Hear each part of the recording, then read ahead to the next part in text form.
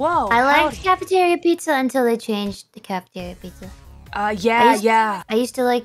They had like wingless. I know boneless chicken wings or something. Oh, yeah. They was like pressed chicken drumsticks in the shape of a drumstick. Yeah, I'm sure it was gross, but anyway.